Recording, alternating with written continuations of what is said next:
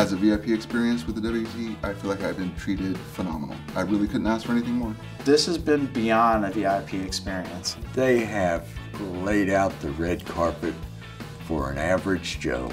These are dreams come true for us that are watching on TV and playing Club WPT. The stuff that you see on TV, we were part of it. I sat back and watched it. It was like a family.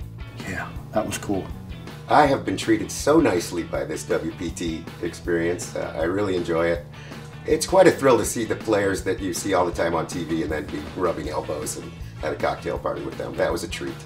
We just had a ball. We danced, had a few cocktails, hors d'oeuvres. It was really spectacular. There's just like so many wonderful things going on, and uh, I'm truly enjoying the experience.